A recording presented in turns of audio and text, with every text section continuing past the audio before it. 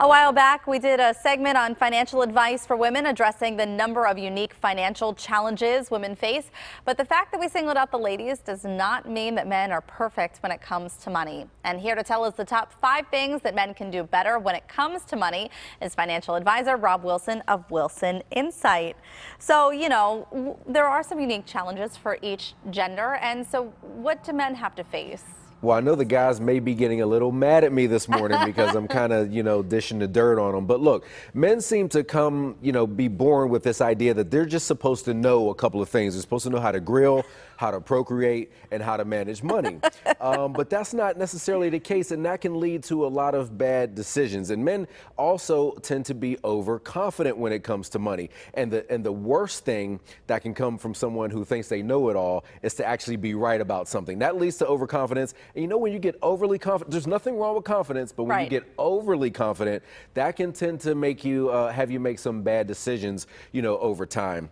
Uh, and the last thing is men uh, tend to have a high tolerance for risk. Now, this might sound a little bit stereotypical, but typically men are interested in power and, and women are a little bit more interested in security. And right. so, because men are striving for more power, more money, they tend to take on more risk. And again, that can lead you to make perhaps some bad decisions over time. And you say that there are some common mistakes, the top five, one of them being concentrating on hot investments. What does that mean? Yeah, so men like to go to the barbershop or uh, to a cocktail party and talk about this hot stock that they heard about and it went up 20 or 30 percent. But here's the thing the hot stock doesn't necessarily remain the hot stock forever. And by the time you hear about it on the news or in the newspaper, it might be a little bit too late. So you don't want to concentrate on the hot thing. You want to figure out what's next uh, when you're thinking about where to put may also lead into your next uh, mistake that men make, and that is uh, trading too often. Oh, yeah. See, men tend to think that they can outsmart the market, and so they're in and out of different stocks, sometimes on the very same day.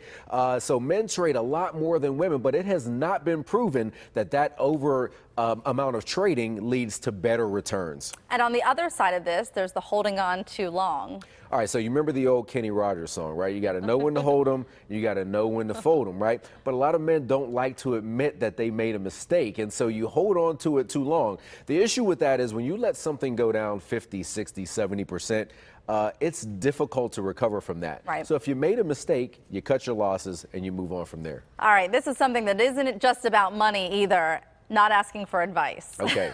so here's the thing. This is almost what we talked about before. Men don't like to to ask for advice. And the honorable mention of things that men don't like to ask advice for is driving, driving somewhere, right? right? so honorable mention to trying to find how to get somewhere without a GPS or asking for uh, direction. So what's funny is, um, as a financial advisor, a lot of my non-athlete clients, 70 or 80 percent of them are women because women aren't afraid to ask for help. So for guys, you gotta put your ego away and just go get it, get some advice and don't be afraid to ask questions. Because the bottom line is that advice could help make you more money, and that's that's the what the goal here. is at the right. end of the day. Yeah. Ignoring health issues. How does this play into money issues? Uh, well, look, most people, but men in particular, and look, I'm guilty of this too, don't like to go to the doctor. The mm-hmm. issue with this is, though, you can't get wealthy if you're not healthy. If you can't get up and go to work every day or right. work inside your business, uh, it's going to be hard for you to build wealth over time. So you cannot ignore your health as an important part of your wealth plan. All right, so we're talking about the mistakes. Let's talk about the tips now for the guys out there. Okay, biggest, number one thing is you have to check your ego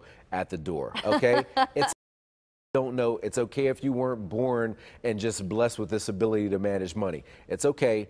Ask questions, but check your ego at the door so that people can actually give you the help that you need. And also seek the advice of an advisor. Yeah, go go ahead and ask them. Look, I'm not an expert at working out, right? So if I want to get in shape, uh, I'm going to go get a personal trainer, somebody right. who's in this day in and day out, knows what they're doing. They're the expert, and just tell me what I need to do because I'm coachable, right? You need to be coachable. Go get it, get some good advice. And that's a great way to compare it. Invest in your health, and this is again goes along with the mistake that you said. You, you have to do this. You know what? One of the number one causes of bankruptcy in the United States is health-related financial issues. Now, I know a lot of diseases and things can't be prevented, but many of them can through lifestyle changes like more exercise right. and going to to the doctor and figuring out what's wrong with you. You can't control any of these problems if you don't know the, that you have them. So invest in your health, meaning get better food, exercise, and please just go to the doctor. Uh, this is interesting. Insure yourself. Yeah, look, something may happen to you, okay? So you got to make sure that you have health care. And I know it's a big debate in the country right, Right, now, right, but yeah. to the extent that you can, make sure that you have the proper health care so that if something catastrophic happens, it's not going to harm your family. But you also need to have life insurance. You want to make sure that if, God forbid, something happens to you, your family's going to be okay on the other side. All right, great. Thank you so much. Rob Wilson again of Wilson Insight and regular PTL contributor. Thanks for being here. And for more information, you can find a link to his website at kdka.com PTL.